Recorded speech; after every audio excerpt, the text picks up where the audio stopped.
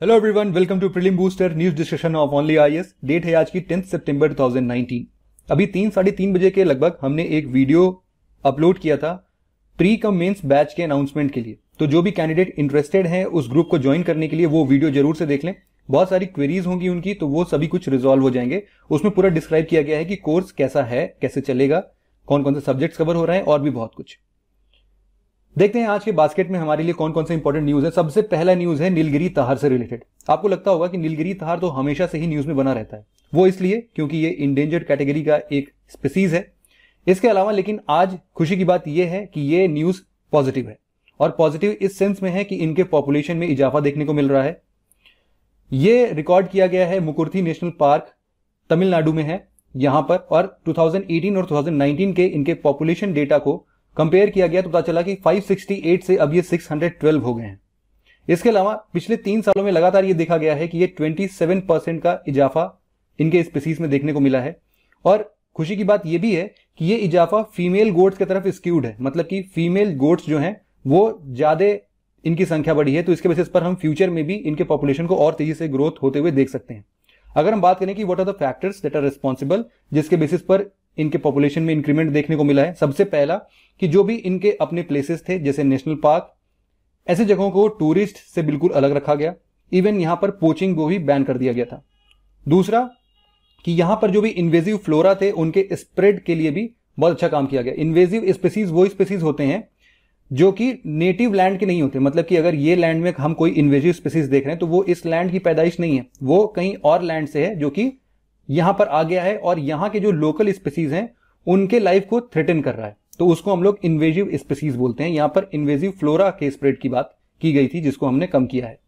इसके अलावा नीलगिरी थार की स्पेसिफिकली बात करें तो इसको नीलगिरी आईवेक्स के नाम से भी जानते हैं। ये आयुषियन रेड लिस्ट में इंडेंजर्ड कैटेगरी में आता है और वाइल्ड लाइफ प्रोटेक्शन एक्ट 1972 के शेड्यूल वन में आता है। इसका मतलब ये होगा कि अगर कोई भी इसके अगेंस्ट में कोई भी ऑफेंसेस करता है पोचिंग करता है, इसको डिस्टर्ब करता है तो उसको कंसर्न अथॉरिटी हाईएस्ट पेनाल्टी के साथ चार्ज कर सकती है।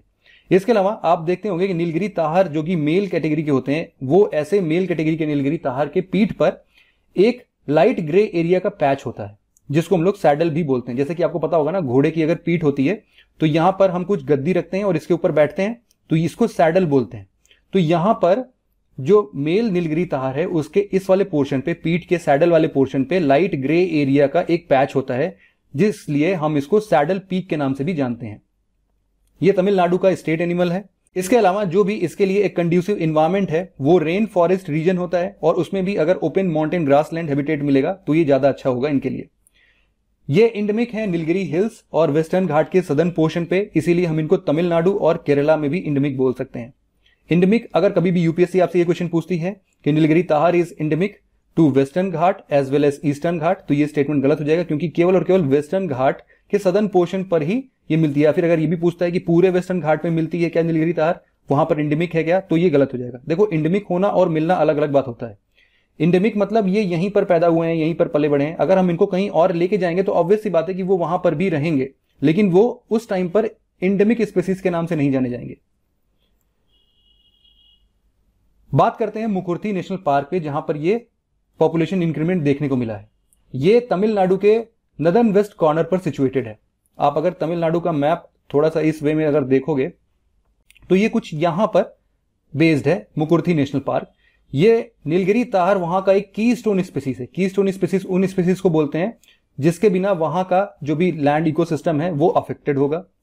इसके अलावा इसके इंपॉर्टेंस के चलते इसीलिए हमने इसको पहले नीलगिरी ताहर नेशनल पार्क का नाम दिया था और अब इसको हम मुकुर्थी नेशनल पार्क के नाम से जानते हैं।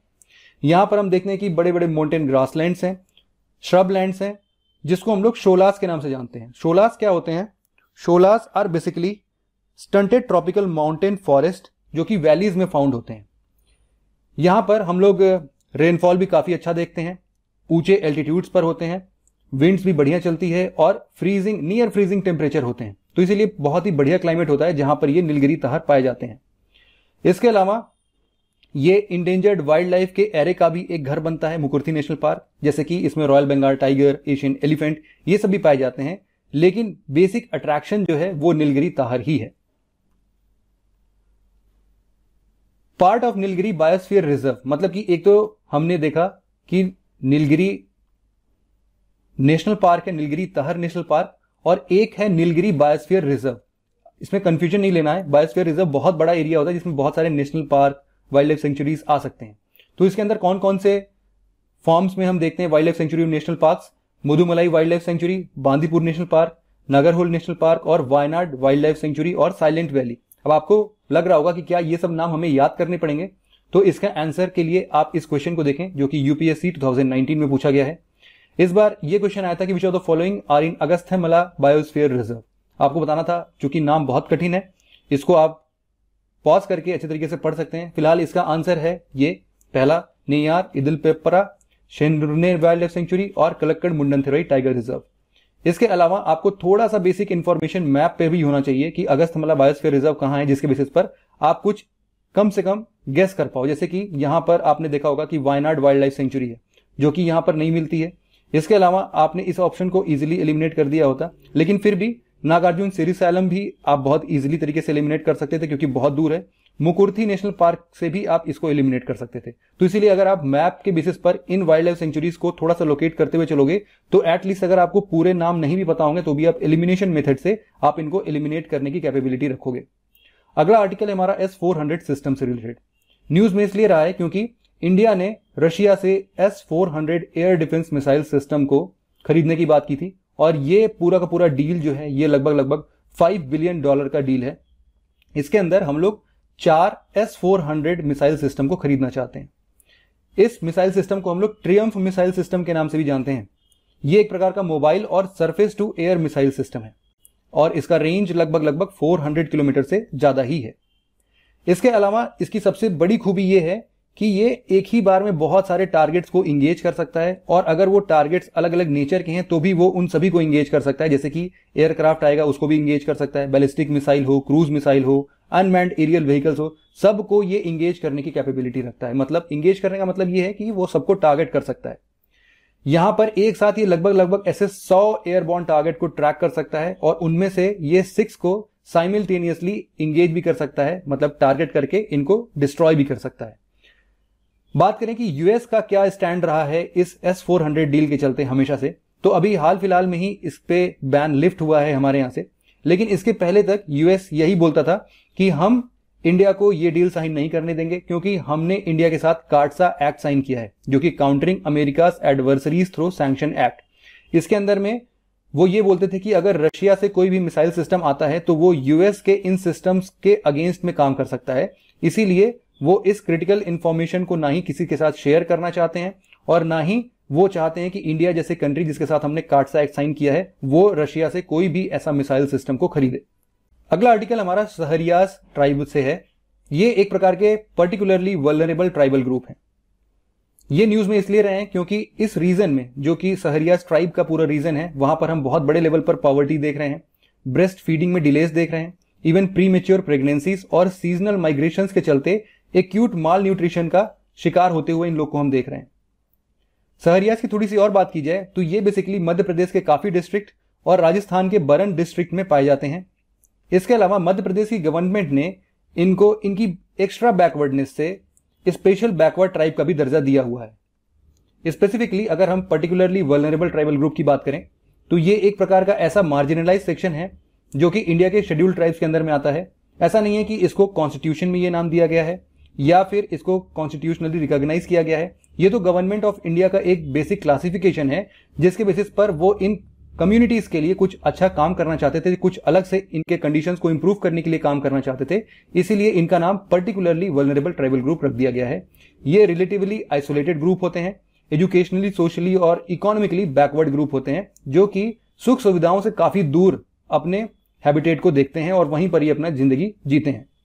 अगर कुछ बेसिक क्राइटेरियाज की बात करें, जिसके बेसिस पर गवर्नमेंट ऑफ़ इंडिया इनको पीवीटीजीज डिक्लेयर करती है, उसमें से पहला है pre agricultural level of technology दूसरा, इनका पॉपुलेशन हमेशा से डिक्लाइन होता हुआ दिखेगा या फिर स्टैगनेंट दिखेगा। इनके अंदर लिटरेसी बहुत ही कम होगी और इनके इकोनॉमिक का लेवल भी काफ़ी सबसिस्टेंस होगा मतलब कि बहुत ही बेसिक लेवल होगा। इंडिया में ओवरऑल ऐसे 75 पीवीटीजीज को लिस्ट किया गया है, जिसमें सबसे ज़्यादा अमाउंट हमको ओडिशा स्टेट में देखने को मिलता है 13 इसके बाद आंध्र प्रदेश में 12 ऐसे पीवीटीजीज हैं। कुछ क्वेश्चन की बात करते हैं। यूपीएससी प्रीलिम्स 2019 में पीवीटीजीज के ऊपर एक क्वेश्चन आया था। इसमें यह बोला गया पहला स्टेटमेंट कि पीवीटीजी जो है वो 18 स्टेट और एक यूनियन टेरिटरी में रिसाइड करते हैं। अब ये स्टेटमेंट हमें पता नहीं है, इसीलिए हम इसको थोड़ा सा छोड़ते हैं, थोड़ी देर के लिए वेट करते हैं, बाकी स्टेटमेंट पढ़ते हैं। इनका स्टैगनेंट और डिक्लाइनिंग पॉपुलेशन एक क्राइटेरिया जिसके बेसिस पर पीवीटीजीज हम सेलेक्ट करते हैं तो ये बिल्कुल सही स्टेटमेंट है। दूसरा कि इंडिया में 95 पीवीटीजीज हैं। ये ऑप्शन गलत हो गया। अब इस ऑप्शन को एलिमिनेट करके देखते हैं क्या हमारा आंसर मिलता है क्या। थ्री इसमें भी है थ्री इसमें भी है थ्री इसमें भी है। तो हमारा आंसर तो मिल गया है। और इसके बेसिस पर ही हम छोटे छोटे इन्फॉर्मेशन के बेसिस पर भी हम, अगर हमको पहला और चौथा स्टेटमेंट नहीं भी पता था कि इरुलार और कोंडा रेड्डी ट्राइब जो है, वो पीवीटीजीस में इंक्लूड है कि नहीं है, वो यूपीएससी हमसे चाहती भी नहीं है कि हम इसको याद करके जाएँ। हमें केवल इतना पता होना चाहिए कि इंडिया में 75 पीवीटीजीज हैं, जिसके बेसिस पर हमने ये ऑप्शन को एलिमिनेट किया। और हम अपना आंसर टिक करके चले जाए ठीक है? तो इस बेसिस पर आपको थोड़ा सा अपना भी ट्रिक्स और टैक्टिक्स डेवलप करते रहना है।